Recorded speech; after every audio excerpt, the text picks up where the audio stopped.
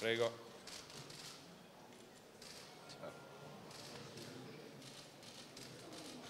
Andiamo a vedere la piazza? Eh? Benissimo, sono tutto curioso. Mai visto? No, dal vivo mai. Dal vivo mai. Bisognava vincere a Siena per vederlo dal vivo. Il Paglio fortunatamente sopravvive a tutto e a tutti, però ho il privilegio di vederlo insieme a migliaia di persone dal vivo.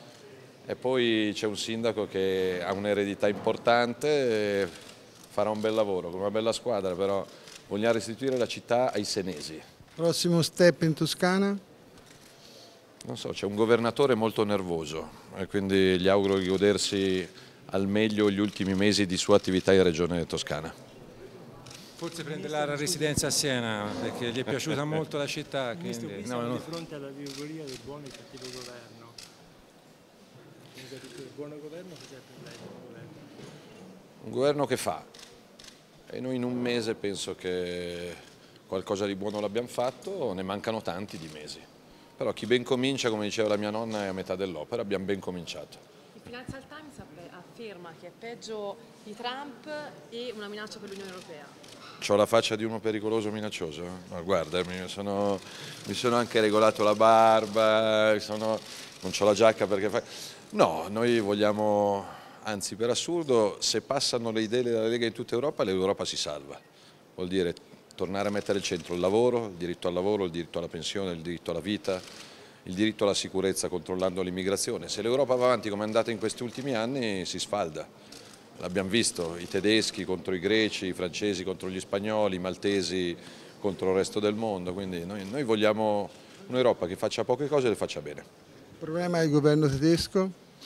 Non metto becco in casa altrui Dato lo mettono sempre in casa nostra. e lo so, appunto io faccio la differenza dei francesi e dei tedeschi rispetto alle scelte dei francesi e dei tedeschi, che il problema nasca da un'immigrazione fuori controllo vuol dire che la Lega non sbagliava quando chiedeva di controllare chi entra e controllare chi esce. Ministro, ai giochi del Mediterraneo prime le italiane.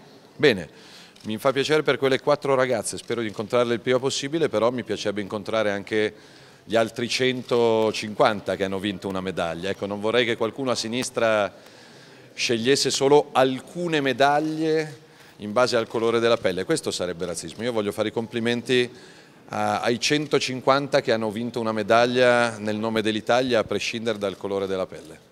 Molto pres- anche al buon governo delle Renzi, qualcosa di un simbolo molto Bocca al lupo sindaco, oggi parlo solo di Siena, non del governo nazionale, dei tedeschi, dei francesi, quindi faccio, in bocca, faccio un in bocca al lupo.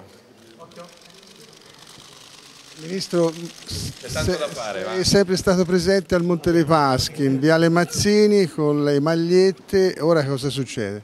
L'impegno del governo era e rimane quello di risarcire coloro che sono stati truffati o derubati, non ci metteremo 15 giorni ma a questo vogliamo arrivare e poi l'obiettivo mio, io ho chiesto al sindaco di far lavorare chi merita. Altri hanno messo le mani sulla città, sulle istituzioni, sullo sport, sugli ospedali, sulle banche. A me piacerebbe che lavorasse chi merita, a prescindere dai colori politici, anche nelle banche. Per il, sindaco, per il sindaco di Siena, filo diretto con Roma? per tutti i sindaci. Il Ministro dell'Interno è a disposizione di 8.000 sindaci.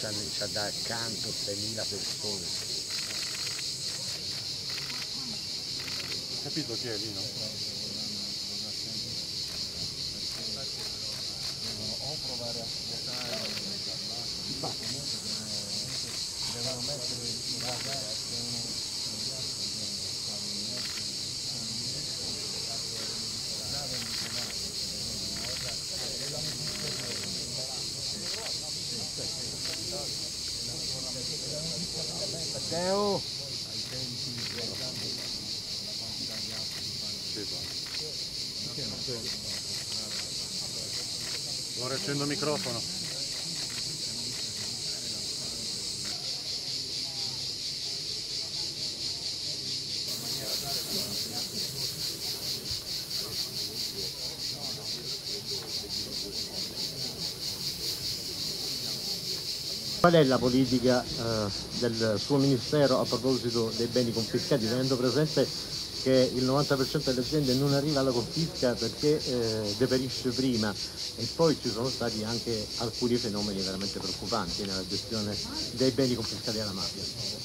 Ma la lotta alla mafia sarà una priorità mia e del governo. Mi piacerebbe alla fine del mio percorso essere ricordato come colui che, che più di altri eh, ha combattuto con ogni mezzo necessario mafia, camorra e ndrangheta.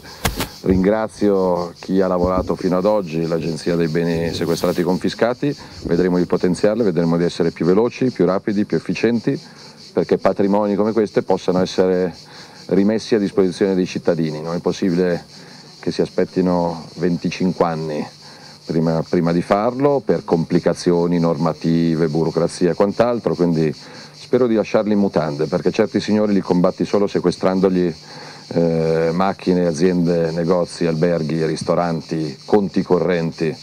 E quindi l'obiettivo è girare tutta Italia portandogli via tutto quello che gli può essere portato via mettendo sul mercato quello che può essere messo sul mercato e coinvolgendo i sindaci, le regioni e gli enti locali per valorizzare tutto il resto. Una, eh, della, due inchieste della Procura di Caltanissetta rivelano che ci sono anche i furbacchiotti dell'antimafia, quelli che approfittano, oh, eh, stiamo parlando di un giudice e di un, di un imprenditore e sono due grosse inchieste in corso. Per me giustizia vuol dire ricordare Falcone, Borsellino e giudice Livatino. Quella è l'antimafia dei fatti che è costata la vita a qualche missionario della giustizia dello Stato. E io vedrò di, di, di, di fare tanto, qualcuno l'antimafia la fa in maniera diversa, per carità di Dio, non sto qua a pontificare, però mi interessa essere qua nel cuore della Toscana verde per ribadire a tutti gli italiani che la mafia non è più quella con la coppola e il fucile che girava per le contrade di Palermo, la mafia purtroppo è arrivata in tutta Italia, guarda i soldi, guarda le aziende, guarda gli alberghi, i negozi, i bar e i ristoranti e va combattuta e lo Stato è meglio della mafia, soprattutto per le aziende mi interessa rimetterle subito in circolo, eh, tutelare e anzi allargare i posti di lavoro. Ringrazio chi ha gestito questa azienda in questi anni perché è stato assolutamente eroico, però qua mi piacerebbe che girassero migliaia e migliaia di persone per vedere quanto è più forte lo Stato e quanto è più bello lo Stato rispetto alla mafia. Nel 2016 è stato fatto un protocollo d'intesa proprio su Suvignano dal Ministero, la Regione, i Comuni, ripartirà da zero oppure proseguirà? Ho trovato tanti protocolli, tanti impegni, tante promesse in ufficio, mi, mi piacerebbe passare ai fatti. Eh, ripeto, superando l'ipocrisia, vendendo quello che, che vale la pena che sia venduto, valorizzando con gli enti locali quello che si può valorizzare, sindaci e regioni non, non hanno sti milioni di euro da investire, però tutto quello che è ben impostato lo tuteleremo. Ovviamente ci saranno delle normative da cambiare, ci sarà da correre, ci saranno da coinvolgere le associazioni, però il mio obiettivo è almeno una volta alla settimana di andare a presidiare, a rilanciare un bene sequestrato alla mafia in una parte d'Italia per restituirla ai cittadini difendere i confini e bloccare l'immigrazione clandestina è uno dei miei doveri e penso che siamo partiti con buone prospettive e con ottimi risultati, stando, stando ai numeri. Eh, purtroppo mi sembra che gli scafisti e i trafficanti di esseri umani stiano provando gli ultimi colpi di coda mettendo in mare su gommoni già sgonfi o su barche senza motore dei disperati che poi rischiano di affogare come purtroppo sta accadendo. Eh, sono agli sgoccioli, sappiano mafiosi e scafisti che con questo governo non, non hanno più business e quindi o cambiano mestiere o cambiano paese. Però Ministro gli sbarchi sono in diminuzione, i morti sono in aumento nel Mediterraneo centrale.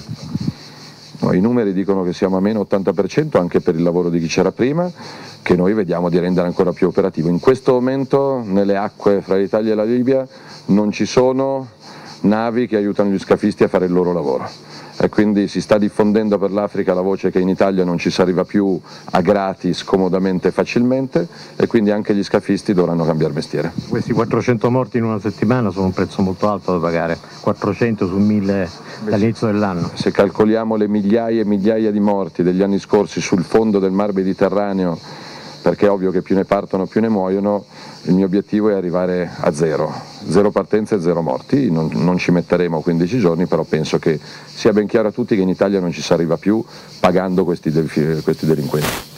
Completamente soddisfatto del decreto dignità? Faccio i miei complimenti a Luigi Di Maio per il lavoro che ha portato in Consiglio dei Ministri, a riprova del fatto che dalle parole questo governo passa ai fatti, combattere il precariato, tutelando l'interesse delle aziende ovviamente è una nostra priorità, se potessi aggiungere un desiderio a quello che è stato approvato in Consiglio dei Ministri su cui lavorerà il Parlamento, perché ovviamente il Parlamento ha tutto il dovere di farlo, è quello che riguarda aziende come queste, riguarda la stagionalità, riguarda la necessità di reintrodurre il sistema dei voucher per il turismo, per l'agricoltura, per per i lavori stagionali, perché senza voucher si incentiva il lavoro nero. Però Luigi Di Maio ha fatto un ottimo lavoro.